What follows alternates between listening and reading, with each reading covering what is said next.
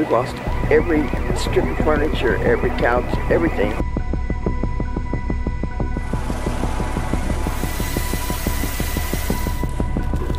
I've never been through this and I don't wish it on anybody. Baby like this should be in the rain and cold. And everybody's lost so much and it still keeps continuing to rain. I have never experienced anything like this. I, I didn't even imagine that it was going to be this catastrophic like this.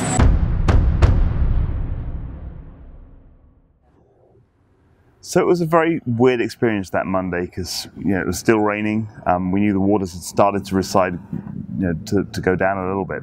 But Dean Gladden and I and Catherine McNeil and then Tenike Swackhammer from the alley headed downtown. Um, and we got down to the Wortham, went to the alley theatre first because Dean had keys.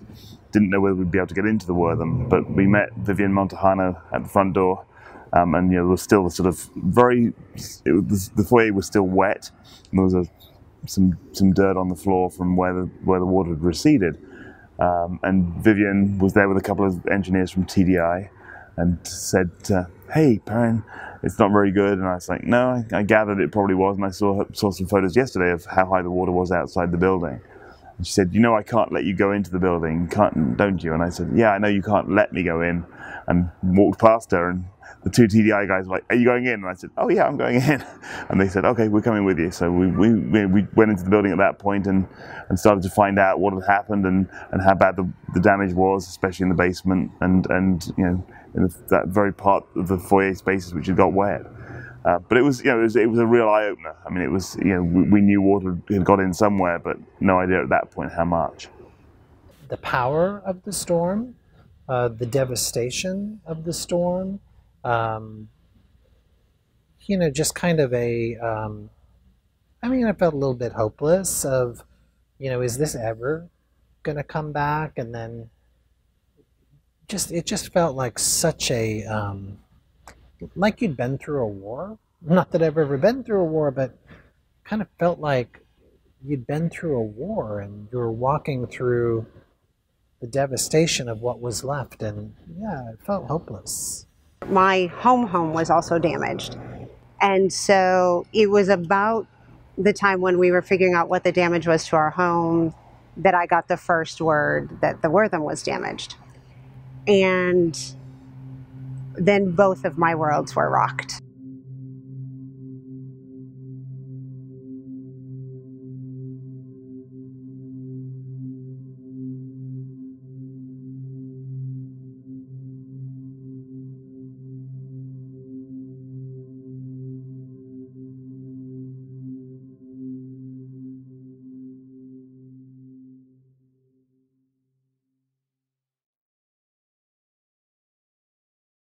We all sort of live by show. You know, it's all about the next performance.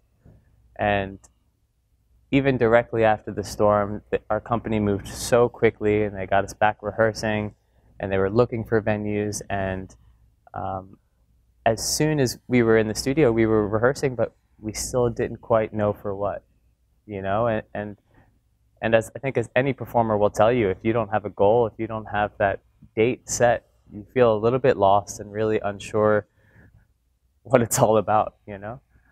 Um, fortunately, our company moved really fast and we were able to secure, secure venues all over town. And we did our, our hometown tour, which um, we tried to make the best of, but you know, every show was a reminder of how much we missed our home. So we started looking at, you know, what are the theaters left standing? So Wortham's out, Jones is out for, you know, a while, but then also, you know, Jones has the symphony and, and SPA going back in. So we started looking for any available performing space in town where they might have windows of dates and we just we just started beating down the doors of every single uh, theater around to, to find out what's possible. We had a big meeting in which the, the GRB plan was sort of discussed. Um, I think several people left that meeting thinking that I was on some sort of medication.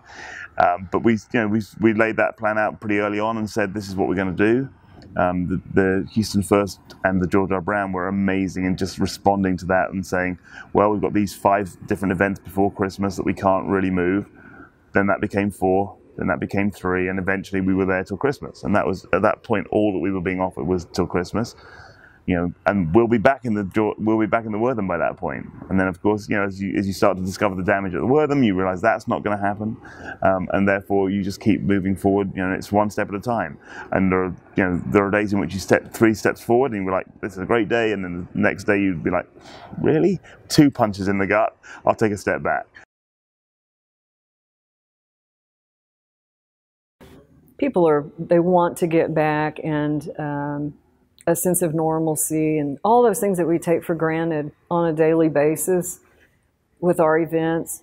You know, I, ha- I had a conversation with someone on our team not long ago and said, you know, you got to be careful what you ask for because when we get into routines and we may feel a little bit of boredom or here we go again, another day. And then when it's all taken away from you, and then you really just want that routine back again.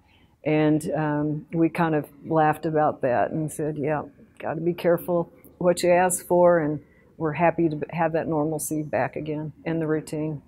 It's just second nature. The, the space, the smell, the, the feeling. Um, and I think we kind of didn't realize how great we had it until we didn't have the Wortham. Um, it's, I think it stands apart in the amount of space that that theater has. To get back to our base and, and back to, you know, this uh, mecca of art, you know, that is so important where these major companies live, um, I think will be important for us to get back to putting on as many shows as we normally do it's it's a it's a something I'm really proud of as, as, a Houstonian of you know now 12 years is that we've been able to just go you know what? We're not going to let this thing kick us. We're going to get up we're going to stand and we're going to say this is important to us as a city. This is who we are as a city and that's what we're going to move forward as one united city. From everyone at Houston First welcome home. Welcome home I can't tell you how thrilled we are to be back at the Wortham. It's going to be amazing. Welcome home. Welcome home from the Alley Theatre. Welcome home. Welcome home. Welcome home. Welcome home. Welcome home. Welcome home. Welcome home.